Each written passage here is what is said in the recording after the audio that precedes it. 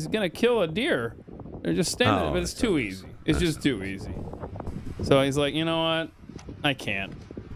And so the deer's distracted, right? He's like, hey, something's out here and it's scary. So I'm gonna go over here toward the hunter, the guy with the gun. Watch this. Yo, hey. what? The deer squaring up on the hunter. I know. And like the deer's like, hey, look, I know you got a gun and stuff, but there's something out there. Can I just hang out with you? Thanks for not shooting me. I appreciate it. He pets him. And the deer's just like, cool. Can I just chill here for a bit while the threat passes? I mean, that is. I want to put this 30 aught six bullet in the side of you. No, see, there's no sport in that. Or adopt him as a pet. Clearly, the deer was I'll tell you fond, what fond of him.